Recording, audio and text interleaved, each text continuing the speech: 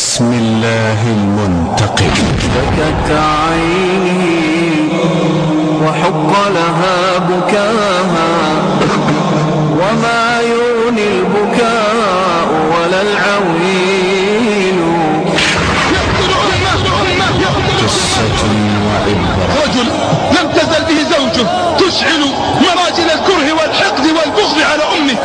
حتى قرر قتلها قصة. لا إله إلا الله قصة. يقتل أمه يقتل أمه قصة وعبرة على ذنبي وما لاقيت والله ما رأيناها في الوحوش الكواسر ولا سمعنا بها في السباع الضواري يقول الراوي فاستدرج أمة لنزهة برية وهي فرحة ببر ابنها بها فلما وصل إلى مكان خالي قال لأمه انزلي قالت هل وصلنا هل وصلنا قال انزلي فإني أريد قتلك الآن لقد نغصت علي وعلى زوجتي معيشتنا فبكت الأم وقالت يا ولدي يا ولدي دعني أعيش في منزل لوحدي قصة. قال يعيبونني الناس قصة. لكن إذا قتلتك لا يعلم أحد قصة. يا ولدي يا ولدي يا ولدي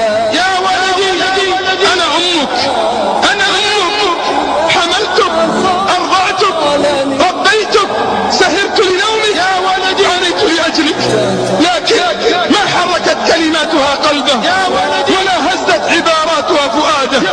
وقالت له الله يعلم بأمرك مطلع على عظيم جرمك وسينتقم منك ومن زوجتك. فقال ساخرا إذا لينجيك الله من قبضتي.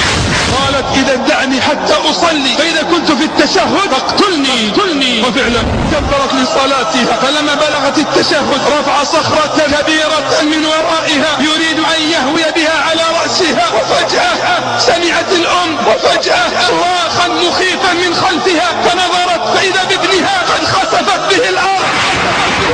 وأصبحت قدماه مغروستان في الأرض وباقي جسده في الهواء ويده التي رفع بها الحجر قد شلت تماما لا يستطيع لها حراكا فصرخت الأم باكية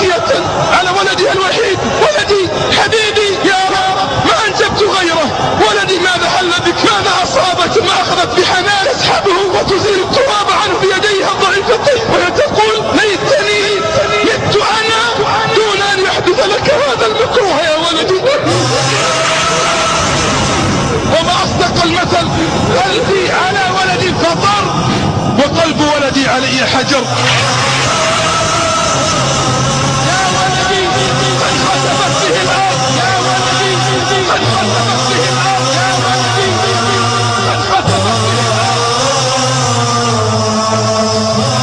إلى كل ابن عاق بوالديه أين الدمعة الحانية؟ فارجع وتب والزم الندم.